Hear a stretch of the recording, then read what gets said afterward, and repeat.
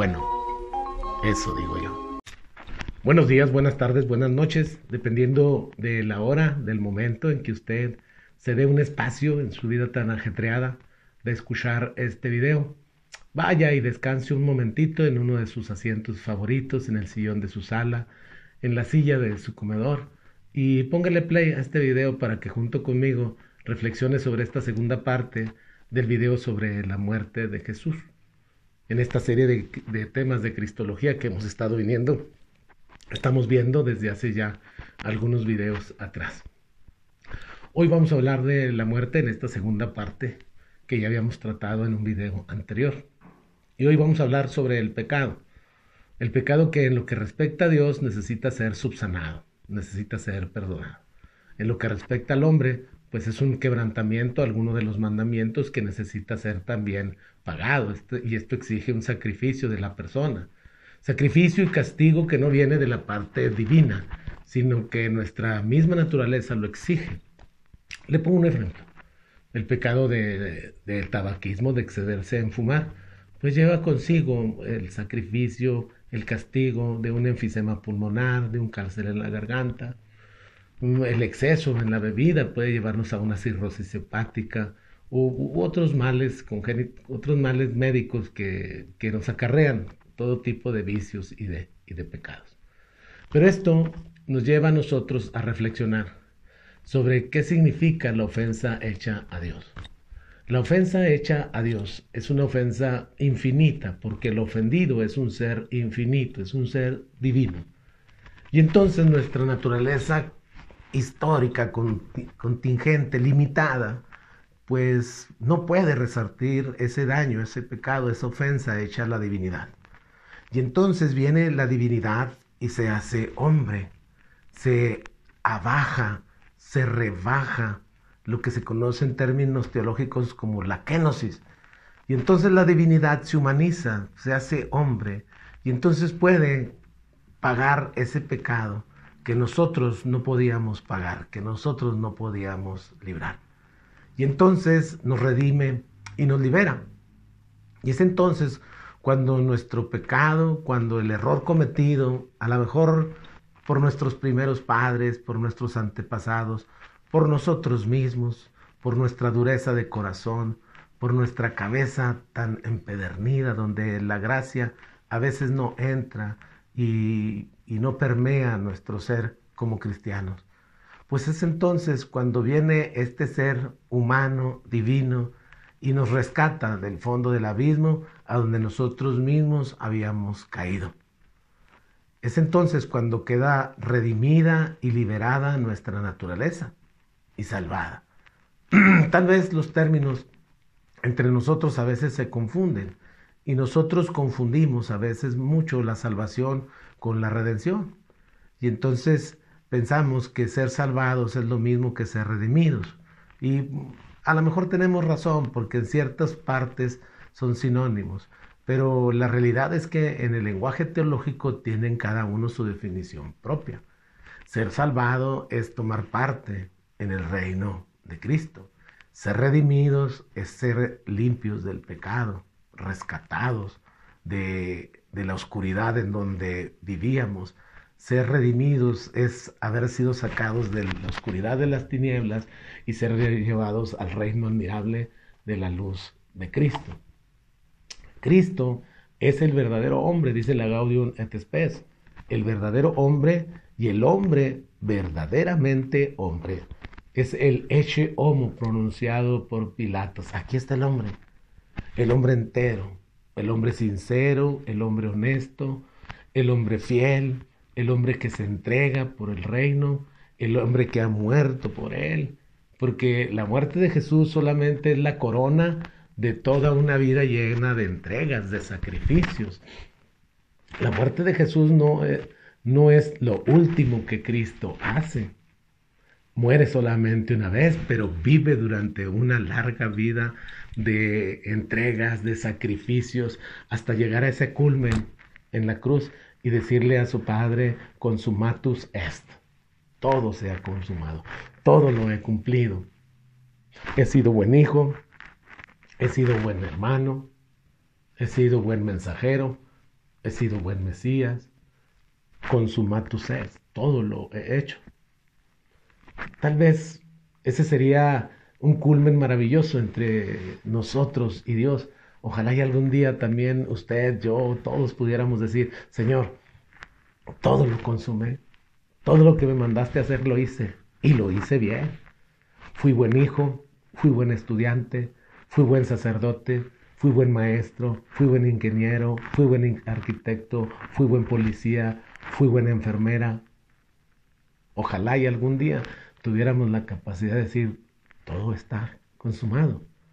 Hace unos días fui a ver a una señora mm, que me mandó llamar para, para que la ungiera.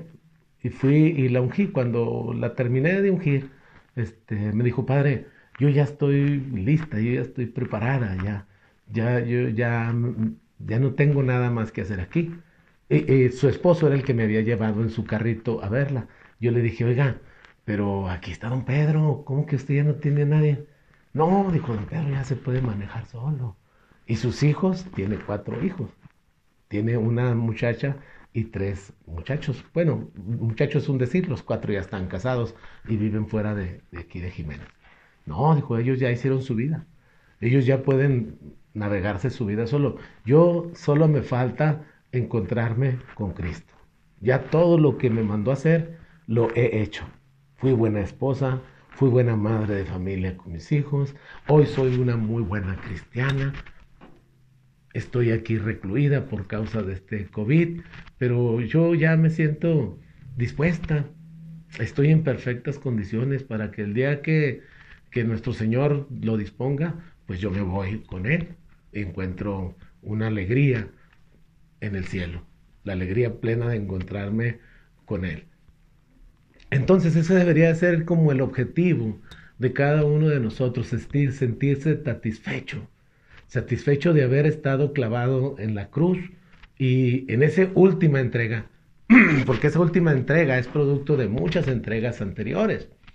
Me imagino yo el estudiante que recibe su certificado, que comprueba su cédula profesional, que comprueba que él ha estudiado filosofía, mm, idiomas, música, y eso, eso comprueba que él se ha entregado durante muchísimos años, semestres, ha hecho varias tareas importantes todas, y en esa última entrega se corona él diciendo, ahora sí, este, terminé mi estudio, terminé mi preparación, ahora viene otro tipo de entrega, diferente a esta que, que he hecho.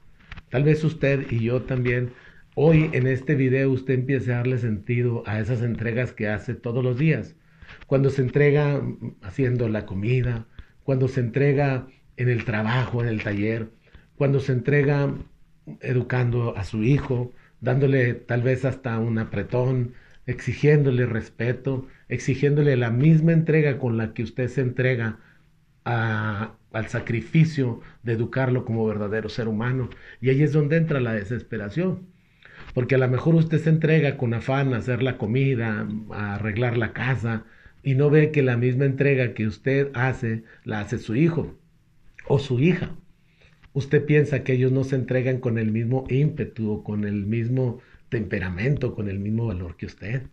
Y eso le causa a usted extrañeza, rareza, quizás hasta coraje, porque quisiera usted que todos nos entregáramos de la misma manera. Pero no es así, señora. Cada uno se entrega en su forma de ser. Jesucristo se entregó como hijo de Dios y se entregó en la cruz y se entregó voluntariamente y se entregó como vivió. Vivió con toda la fuerza de su corazón y con toda la fuerza de su corazón murió. Y eso es maravilloso. Porque el que vive mediocremente, pues hasta su muerte ni le sabe, tiene una muerte mediocre. Pero el que vive intensamente, el que vive con toda la fuerza, con todo el poder de que le da su ser, con ese mismo poder muere y hasta la muerte le sabe. Y le sabe precioso porque la muerte entonces se convierte en un paquete, en una entrega. Con las manos llenas usted eh, llega al reino y le dice, mire Dios, aquí está todo lo que hice, porque todo esto lo pusiste en mis manos, porque todo esto era tu proyecto y yo lo he realizado. Y aquí está, están mis necesidades satisfechas, no solamente las mías, sino las necesidades satisfechas de los demás. A los que pusiste a mi lado los abracé cuantas veces pude, les sonreí, los quise, los acaricié, los saludé mientras se pudo. Ya cuando lo prohibieron ya no lo pude hacer. Un día estábamos mi papá y yo viendo un programa de televisión cuando era párroco de un municipio cercano aquí, Coronado. Y estábamos viendo un documental de los Parsh Adams, de estos médicos que curan a base de emociones, a base de sonrisas, de abrazos, de sentimientos positivos. Y entonces estaba diciendo el tipo del documental que para reforzar nuestro sistema inmunológico había que abrazarse ocho veces al día. Cuando dijo eso, mi papá y yo volteamos al unísono y nos quedamos viendo. Y le dije yo al viejito, ¿qué? ¿Nos los damos?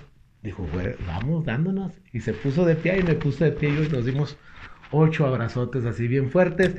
Terminamos de darnos los ocho abrazos y le dije, vamos a darnos otros dos para adelantarle lo de mañana. Y nos dimos otros dos abrazote.